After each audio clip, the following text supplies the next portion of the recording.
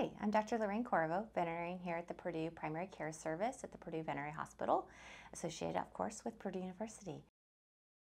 Most experts and veterinarians agree that when the temperature gets below 20 degrees, really all pets should come inside.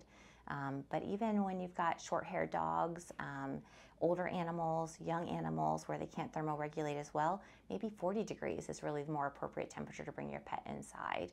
Now, not always can we bring our animals inside, and we understand that, but then we need to provide appropriate shelter for them.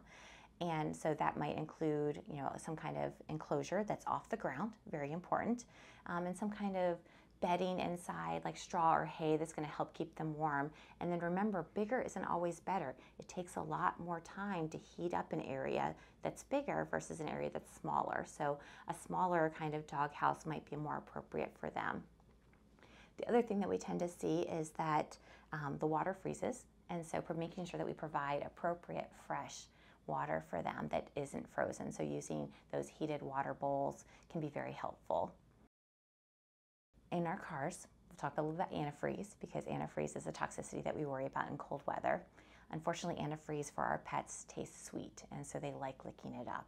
Now, there are some pet-friendly ones that taste yucky, um, but it doesn't mean that they don't do the same damage to the kidneys that we see. And so making sure that any kind of antifreeze spills you rinse off really really well um, into kind of like a stone gravel area and then maybe cover it up with dirt so there's no chances that any licking can kind of happen um, but if you do think that your pet has licked antifreeze time is of the essence and you need to get them to an emergency veterinarian right away with kitty cats like this guy here, um, our cats that are outside, they like to stay warm too. And unfortunately, they like warm car engines. So they like to get up under the hood after you've turned off your car because it's nice and toasty warm for them.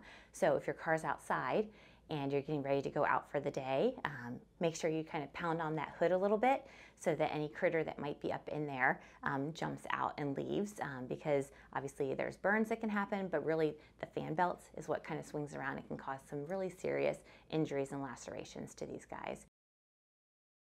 So keeping your pet healthy in the wintertime, keeping them warm, bringing them in, providing shelter, water, and making sure that nothing's hiding under your hood can help these guys stay safe in the winter.